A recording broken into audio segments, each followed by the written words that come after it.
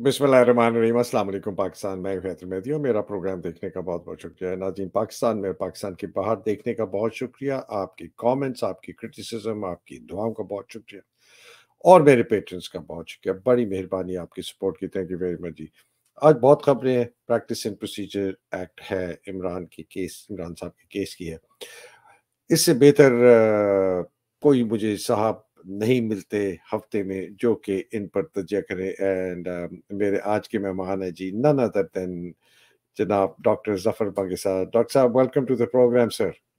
अस्सलाम वालेकुम हैदर और आपके नाजरीन को भी मेरा सलाम। बहुत शुक्रिया। वालेकुम अस्सलाम सर। बहुत मेहरबानी। Thank you very much sir मैं दुआ से शुरू करता हूँ क्या मेरे रब मेरा सीना कुशादा कर दे मेरे काम को आसान बना दे मेरी जबान की गिरा खोल दे ताकि वो मेरी बात समझ सके। बहुत शुक्रिया। सर, आज जो तीन बड़े इश्यूज़ हैं, वो एक तो ऑब्वियसली जो प्रैक्टिस एंड प्रोसीजर एक्ट है, दूसरा इमरान साहब के जो ट्रायल है, लेकिन इन पर जाने से पहले मैं एक ये आपको उनके हालात के मुतालिक कि दिखाना चाहता हूँ छोटा सा एक वीडियो जिस पर आपको पता चलेगा कि इमरान साहब के साथ किस किस्म का बर्ताव किया जा रहा है, सर? ये जरा सुनिएगा को खतरा है जेल में, और वैसे भी ये ओवर क्राउडेड जेल है, यहाँ जितनी कैपेसिटी है, उससे दोहरे से भी ज़्यादा यहाँ प्रिजनर्स को रखा गया है, जो जिनको स्पेस इतनी भी नहीं है कि वो अपने पाँव अपने सीधे कर सकें स्ट्रेच कर सकें, और कल भी जो है मोहतरम इमरान खान साहब को उन्होंने उस सेल से निकाल के एक छोटे सेल में रख दिया है और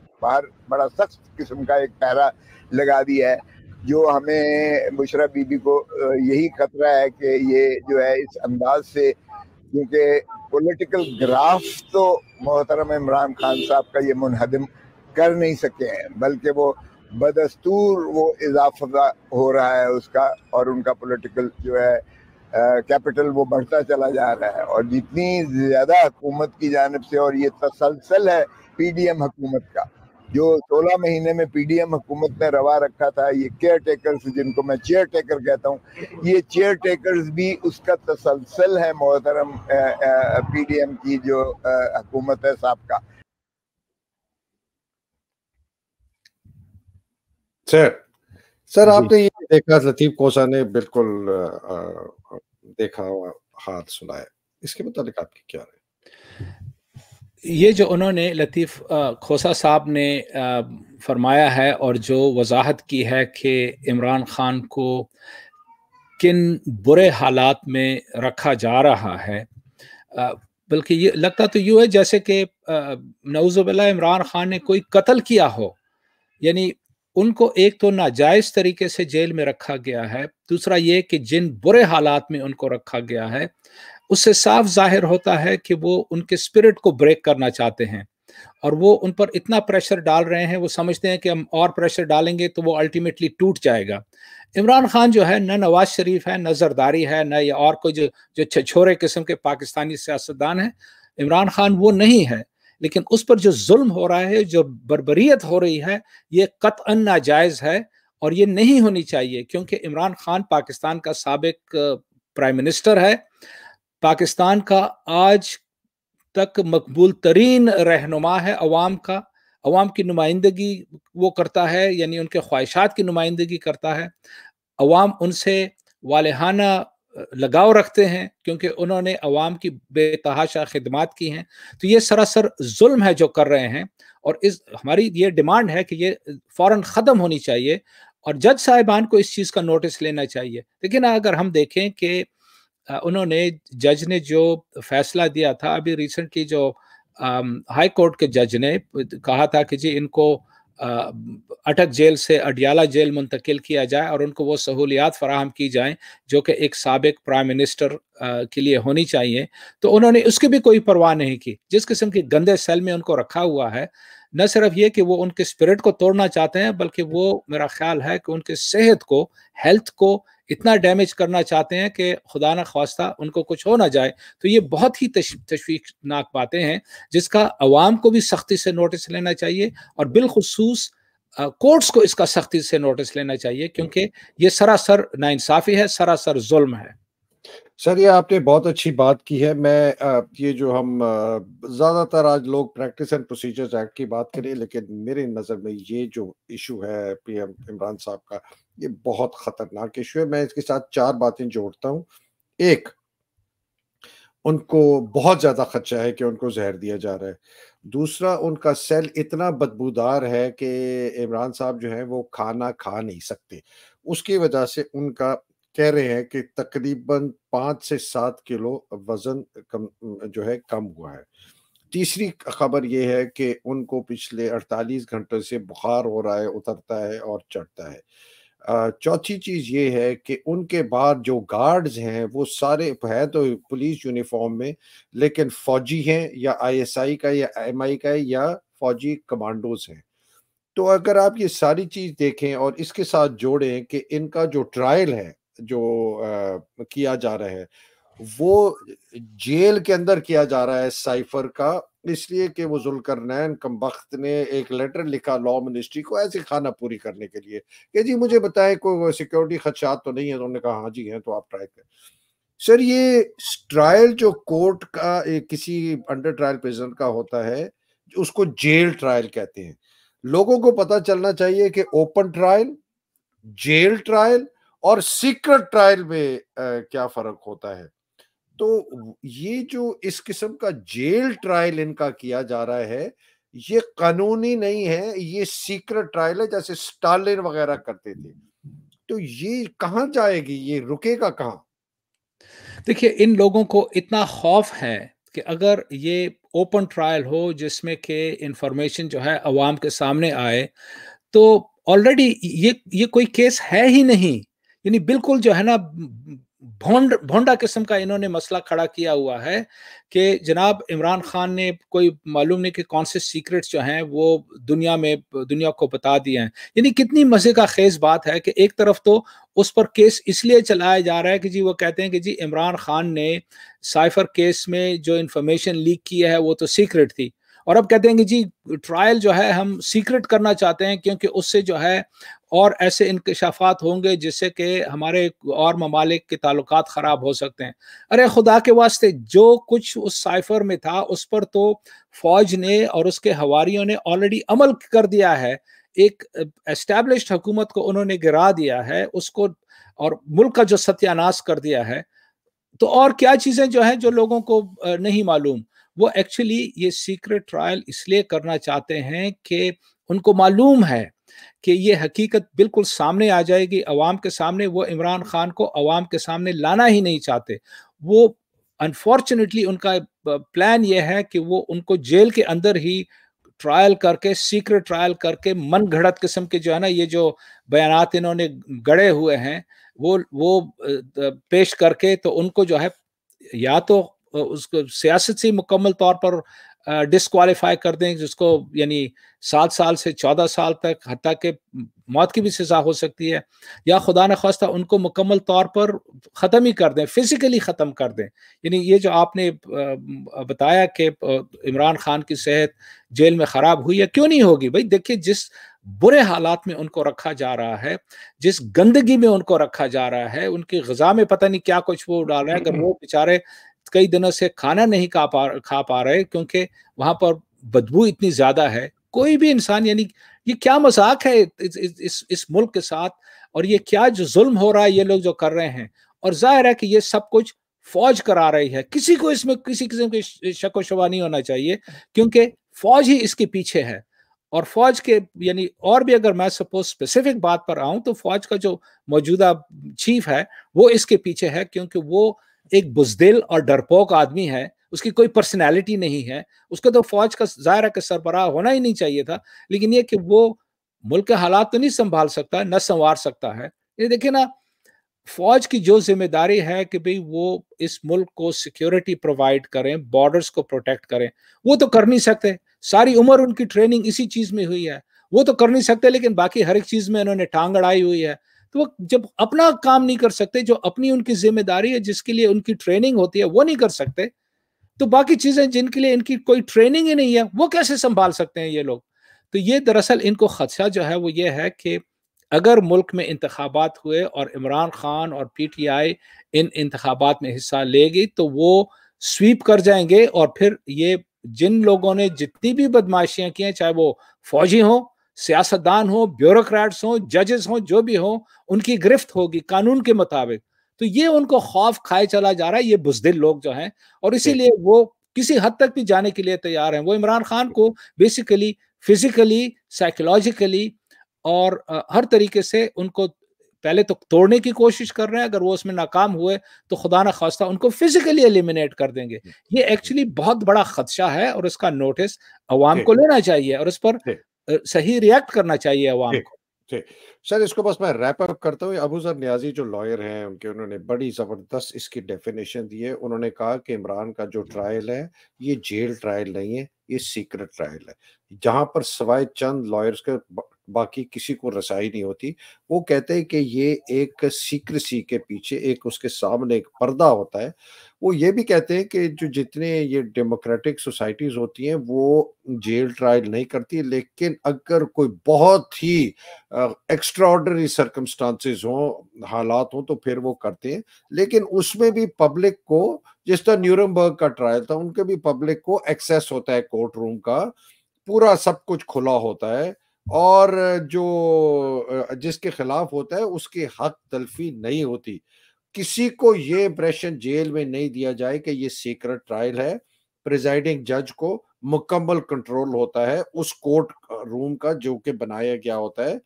और इसको इंसाफ को आगे बढ़ाने के लिए होता है, इसलिए कि नहीं कि इंसाफ को तोड़ा जाए ये बहुत ही सख्त किस्म के टेररिस्ट टाइप लोगों के खिलाफ होता है जिनकी ऑर्गेनाइजेशन इतनी ताकतवर होती है कि उनको डर है कि अगर बार करें तो कुछ हो जाएगा। और ये सिर्फ़ इमरान कहता है, जी, इमरान का ये जेल ट्रायल भी नहीं है, ये सीक्रेट ट्रायल है, ये जोसेफ स्टालिन जैसे मैंने पहले कहा। और वो जो ये रूस की जब सोवियत यूनियन थी और पुराने जो अंग्रेज़ बादशाह थे, करते थे। तो ये लोगों को पता चल जाना चाहिए और आपने इसका बहुत अच्छा किया कि अगर लोग नहीं उठेंगे तो ये इमरान को खुदा ना खास्ता बहुत नुकसान पहुंचाएँगे। So practice and procedures act की तरफ़ चलते हैं। बहुत ही इंटरेस्टिंग हुई ये काजी फायज ईसा की धज्जियाँ उड़ा दी मुनीब अख्तर ने और आयशा मलिक ने और लॉयर ने भी कह दिया। वो जब कह रहा था ना ये पीटीआई क्यों पार्लियामेंट से निकल गई? तो लॉयर कहता है सर आप पार्लियामेंट में जाके बैठे थे आपने स्पीकर से क्यों नहीं पूछा कि पीटीआई के मेंबर्स को क्यों नहीं आने देते? सर ये जो आज की हेयरिंग है उसके मुतालिक आपकी क्या राय जी उसके मैंने प्रोसीजर्स वगैरह आप वो सुने उनके वो जो चीफ जस्टिस के जो रिमार्क्स थे वो हम्म। काफ़ी इंटरेस्टिंग थे। उन्होंने मतलब कि उनको कहा कि जी एक्चुअली मैं तो हैरान हुआ उन्होंने कहा कि जी देखिए इन सुप्रीम कोर्ट ने माजी में कोई अच्छा किरदार अदा नहीं किया क्योंकि हम इन्हीं इसी सुप्रीम कोर्ट ने मार्शल लॉ को लेजिटिमेट करार दिया। एक मरतबा नहीं बल्कि तीन मरतबा। और उन्होंने कहा बर्मला कि जी ये जो चीज़ हुई है ये आ, सुप्रीम कोर्ट के लिए कोई ऑनर की बात नहीं है बल्कि सुप्रीम कोर्ट के डिसऑनर की बात है। और उन्होंने फिर ये भी बात कही कि लॉयर्स जो उसके इस इस बिल के हवाले से जो बातचीत कर रहे थे तो उन्होंने कहा कि जी, आप हमें इस बात पर मजबूर ना करें कि हम एक मरतबा फिर जो है मार्शल लॉ के लिए रास्ता खोलें। तो ये तो एक्चुअली एक पॉजिटिव डेवलपमेंट है और अल्लाह करे कि वो इन उसूलों को बरकरार रखें और ये जो आ, आ, ये जो क्या क्या कहते हैं प्रैक्टिस एंड प्रोसीजर्स एक्ट के तहत जो हेयरिंग्स हो रही हैं उन्होंने उसको अगले मंडे तक मुलतवी कर दिया है। लेकिन उन्होंने लॉयर्स को स्पेसिफिक इंस्ट्रक्शंस दी हैं कि जी, आप वो बातें रिपीट ना करें जो पहले आप ऑलरेडी कर चुके हैं, बल्कि हर एक को पंद्रह मिनट का मौका दिया जाएगा और हम सुबह से ये शुरू करेंगे ताकि इसको हम उसी दिन रैप कर रैप अप कर सकें। तो अल्लाह करे कि वो इसमें कोई वो सही कानूनी तौर पर, आईनी तौर पर उस पर फैसले करें, ना कि किसी के प्रेशर में आए। तो अब देखते हैं कि आगे आगे क्या होता है, किस तरह इसको लेके जाते हैं। लेकिन ये कि, देखिए बात यह है कि uh, पाकिस्तान में इदारे जो हैं इतने इधर से इदारों में जाने से पहले इसको रैप अप करके मैं एक आपको एक समरी दे दूँ जो कि एक मुझे लॉयर ने इस केस के मुतालिक बताई है। जी जी प्लीज़ ज़रूर ज़रूर। उन्होंने मुझे कहा कि सर उन्होंने मुझे कहा मैंने फ़ोन किया सुबह मैंने कहा भाई मुझे बताएँ क्या है इसका? उन्होंने कहा कि मेहदी साहब आपने एक बहुत सख्त मिसाल दी थी कि फौज ने जो पाकिस्तान पे कब्जा किया है वो ऐसे ही है जैसे किसी के साथ जनाब बिन जबर किया जाए वर्सेस निकाह। कि कानून और आइन के तहत जो हुकूमत हुई वो निकाह है, फौज का कब्जा करना जना है। कहते हैं, जी, सुप्रीम कोर्ट का ये केस बिल्कुल वही है, निकाह या जना।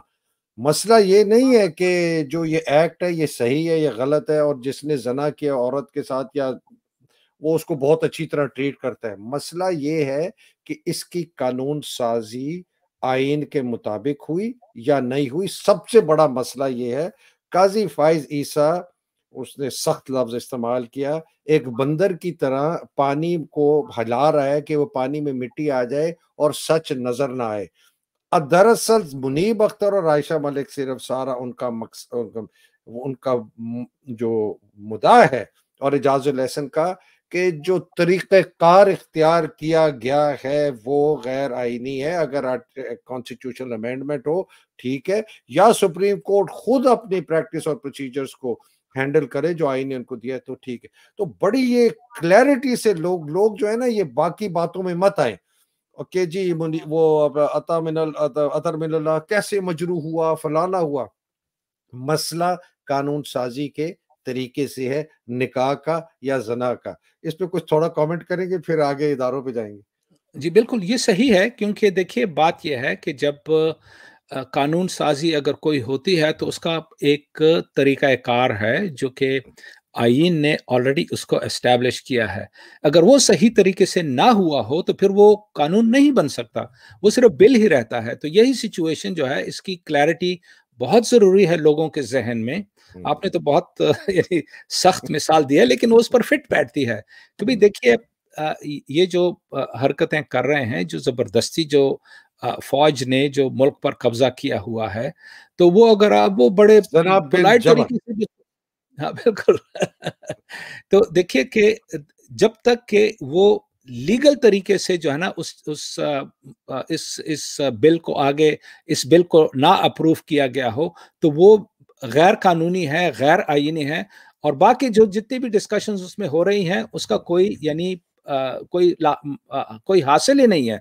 वो तो खाम खाई जो है इधर उधर की बातें करना है और लोगों के अटेंशन को डाइवर्ट करने वाली बात है। यही तरीका है जो कि वो जो जो जब जहाज़ जो है वो आ, उनकी डॉग फाइट होती है तो वो आ, वो छोड़ते हैं फ्लैक्स छोड़ते हैं ताकि हम्म। वो मिसाइल्स को डाइवर्ट कर सकें ताकि जो है ना मिसाइल जहाज़ को मारने के बजाय किसी वो फ्लेयर के हाँ। पीछे चले तो यही हाँ। हरकतें यहाँ भी हो रही हैं कि एक्चुअल इश्यू को छोड़कर ये फ्लेयर्स हम्म। फेंक के चले जा रहे हैं ताकि लोगों का अटेंशन डाइवर्ट कर दें एक्चुअल मसाइल से एक्चुअल मसला ये है कि क्या ये जो इन्होंने कानून सो कॉल्ड कानून पास किया है ये कानूनी तरीके से आईनी तरीके से किया है या गैर आईनी तरीके से किया है? अगर गैर आईनी तरीके से किया है तो वो कानून है ही नहीं। वो हो ही नहीं सकता कानून। ये बुनियादी बात है।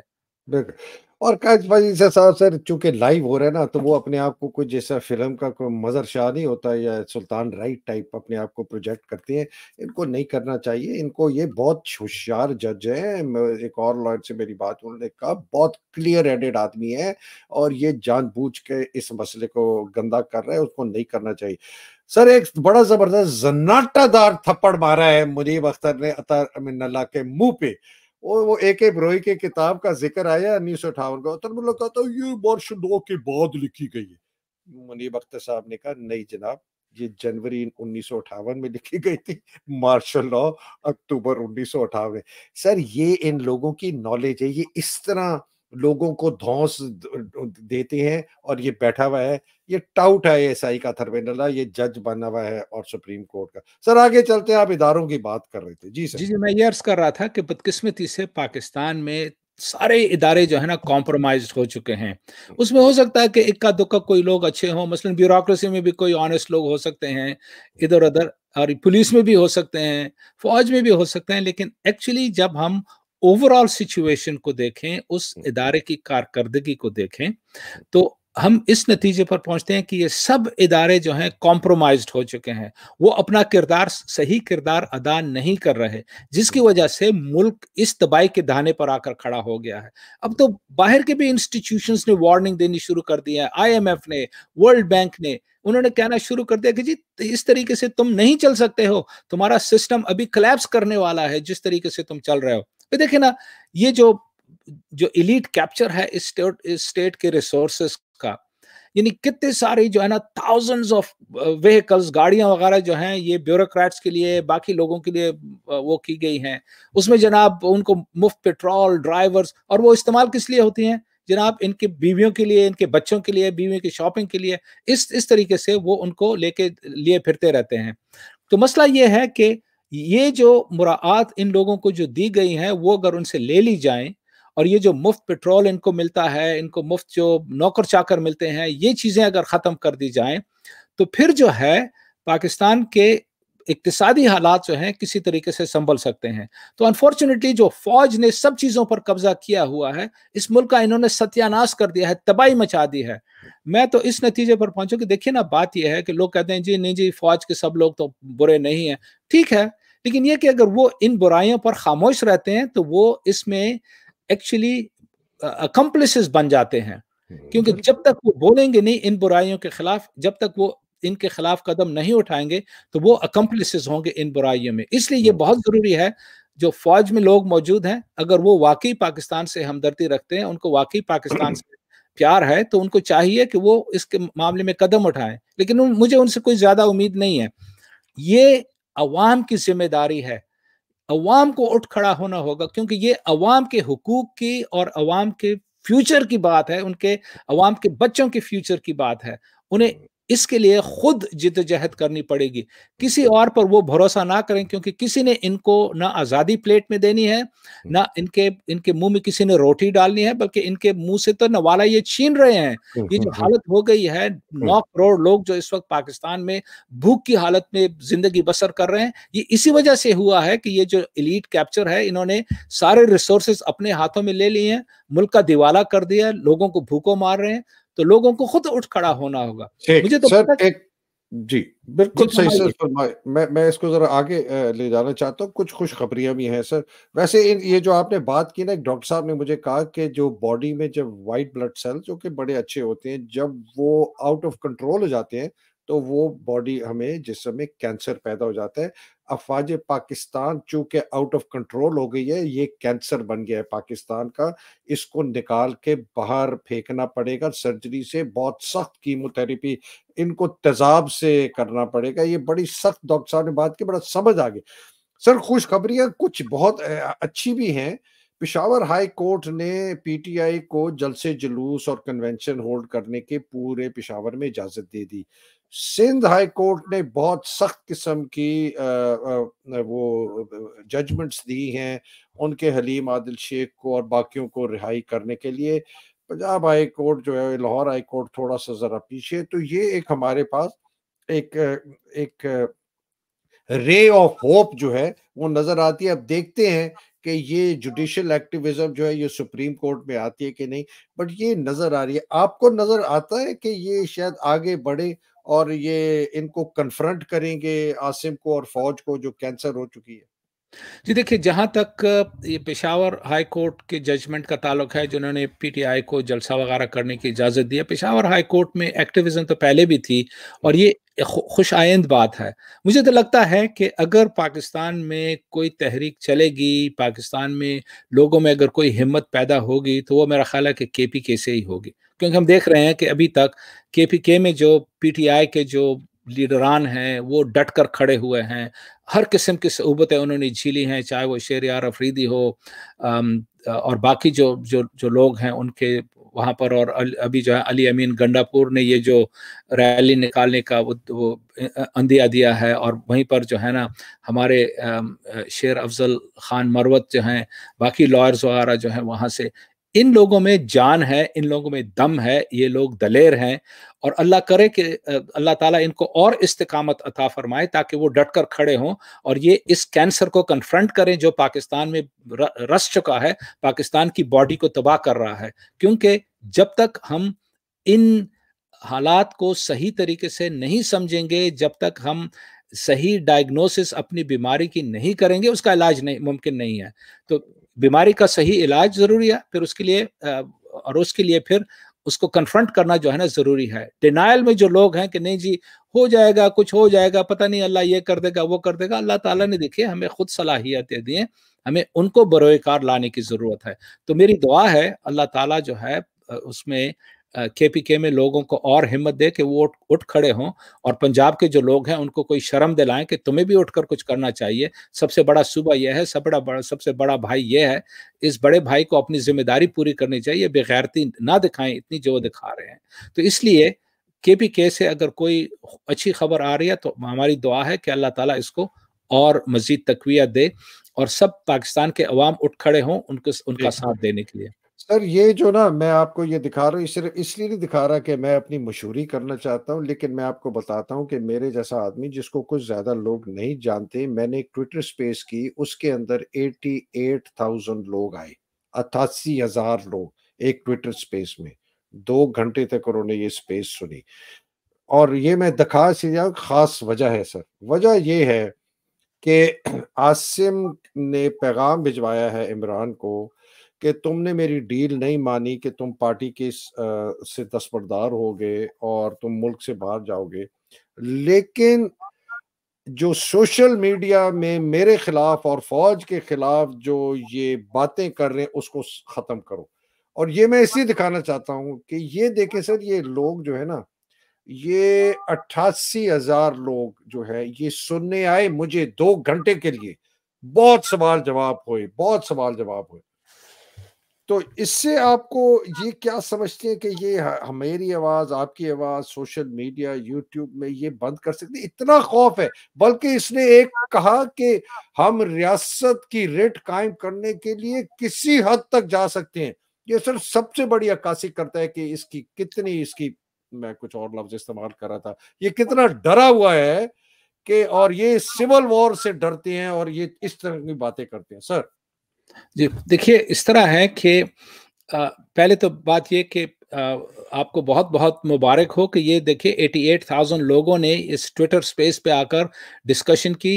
इन दो घंटों में ये तो डेफिनेटली इस चीज़ की अक्सी करते हैं कि लोगों को इस मामले में बहुत ही जो है ना परेशानी है बहुत क्या कहते हैं वो इसमें इन्वॉल्व हैं।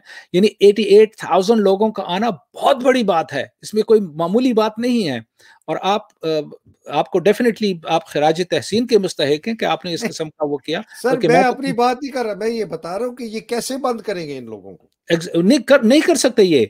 ये तो ये तो दरअसल बात यह है कि यही तो एक वो है ज़रिया है जिसके तहत लोगों को इंफॉर्मेशन मिल रही है, लोगों को एंगेज करके रखा हुआ है, लोगों को बताया जा रहा है। देखिए ना, पाकिस्तान में तो सारे मीडिया पर इन्हीं का कंट्रोल है। इन्हीं के किराए के जो है ना, टट्टू बैठे हुए हैं, जो अपने आप को एंकर्स कहते हैं। अजीब और गरीब किस्म की बातें करते हैं, बेतुकी किस्म की। बल्कि मैं तो जब पिछले साल के जो उनके ये, जो बिकाऊ माल थे, वो जो बैठकर बातें करते थे, एक साहब ने तो ये भी कह दिया था कि जनाब आप एक महीने का इंतज़ार करें मई का महीना आएगा ये मई 2022 की बात है कि जी उसके बाद इमरान खान का कोई पूछेगा ही नहीं। आज जरा उन साहब से पूछें कि भाई आपने ये जो दावा किया था वो मई 2022 तो क्या आज तो अक्टूबर 2023 हो गया है और इमरान खान की पॉपुलैरिटी बढ़ती चली जा रही है उसको आप नहीं हटा सकते इक्वेशन से। तो इन्होंने तो पाकिस्तान में मीडिया पर मुकम्मल तौर पर कंट्रोल किया हुआ है। सोशल मीडिया पर वो क्लैंप डाउन नहीं कर सकते खास तौर पर उस सोशल मीडिया पर जो पाकिस्तान से बाहर बैठे हुए हैं। और ये आपकी और हमारी और बहुत से और लोगों की ज़िम्मेदारी है कि हम हक को सामने लाएँ पाकिस्तान की खातिर। इन डाकू लुटेरे, चोरों, बदमाशों की खातिर नहीं कि वो मुल्क को तबाह बर्बाद कर दें। इन्होंने अभी तक पाकिस्तान का जो हशर कर रखा है, ये तो अवाम को मालूम है कि वो बेचारे किस कसमपुरसी की ज़िंदगी बसर कर रहे हैं। जो हालत कर रखी है उन्होंने, जो वहाँ पर इन्फ्लेशन है, जो महँगाई है, जो लोगों के मसाइल हैं मसाइल का तो इनके पास कोई हल है नहीं और जनाब ऊपर से और जनाब वो दबाने की कोशिश कर रहे हैं। वो हम्म। डरे हुए हैं वो सहमे हुए हैं। लोगों को चाहिए कि वो उन उनको और डराएँ उठकर खड़े हों इनको वहाँ से मार भगाएँ ताकि पाकिस्तान को बचा सकें। मसला पाकिस्तान को बचाने का है। ये, इन चंद छछोरों को बचाने का नहीं है। इसलिए हम्म। बहुत ज़रूरी है कि लोग इस पर तवज्जो दें।